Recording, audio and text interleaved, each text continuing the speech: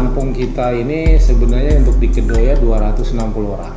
Nah, 260 orang sedangkan kapasitasnya itu yang sekarang posisi real posisinya sudah 437 orang. Ya 430 berarti sudah mau over ya, over kapasitas. Dengan kapasitas seperti ini ya kalau kita sih sudah sudah biasa ya, over ini sudah biasa dengan ya mungkin dari sarana prasarana yang mungkin kurang kurang agak kurang manusiawi juga sedikit ya tentang hal seperti ini. Karena mereka tidurnya pun ya sudah pen-petan bahasanya di lantai dengan kita kasih alas gitu kan atau semacam uh, alas kayak apa lagi karpet gitu kita masukkan seperti itu. Kecuali yang di atas.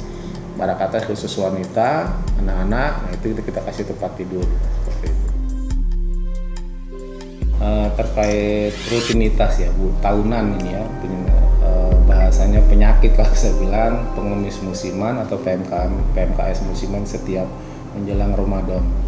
Uh, biasanya kita kalau panti sebenarnya tidak ada trik yang yang menonjol untuk mengantisipasi ini. Pada prinsipnya karena panti itu adalah pelayanan memberikan pelayanan kepada mereka hasil penertiban kita seperti biasa saja cuman kondisinya mungkin yang perlu kita siapin adalah terkait masalah uh, makannya mereka ya makannya maupun tempat tinggal atau tidurnya mereka.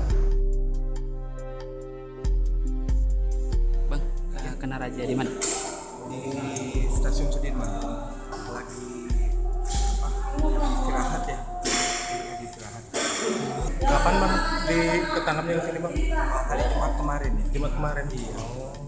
Pas siang malam.